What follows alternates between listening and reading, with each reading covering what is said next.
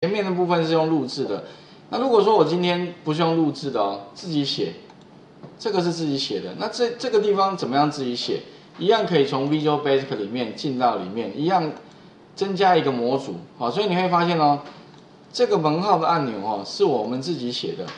那要怎么写？这个我想哈，下一次上课再再讲。那基础也可以自己写。所以这个部分的话呢，如何自己撰写我们需要的 VBA 程式啊？但程式不多。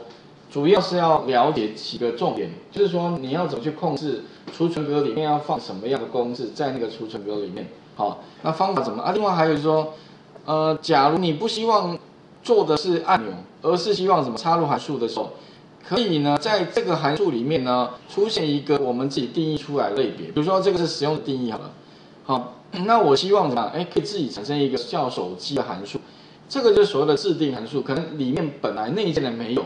那你可以自己把它变出来。那这个函数是针对你工作需要而创出来的。这个也是 VBA 的一种形式哦。你可以用 VBA 来写。那它有好处是什么？按确定之后的话，它可以自动怎么样？给需要的相关的参数是三个问题对。按个确定之后的话呢，结果就做出来了。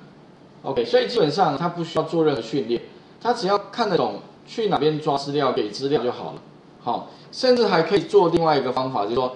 自定函数还有一个用范围，因为这边有三个，你要选三次。还有同学说，老师可不可以不要选三次啊？按确定之后呢，只要刷一下就好了，一次给三个嘛，对，然后按确定，向下填满，结果也 OK。那这个就是所谓的自定函数。那自定函数当然你可以来源，如果是连续的，你也可以改成叫范围，一次给一个。所以你比如说你同时好几个栏位，一刷自动把结果哎通通放到前面，帮你。组成你要的一个格式出来，那这个地方要怎么做？基本上哈，其实还是从什么这个地方进来。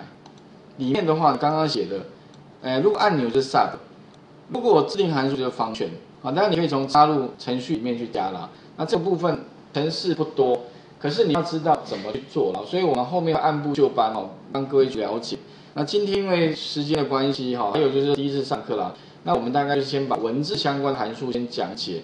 那下一次上课的话，哦，可能就是两周之后啊。所以回去的话，可以先把一些题目练习一下。好，来画面再还给各位一下。那另外哈，请各位就是第一个哈，也许你对云端都不熟悉，同学啊，可以趁这个机会哈，回去有时间哈，多多使用云端相关的那个技术啊。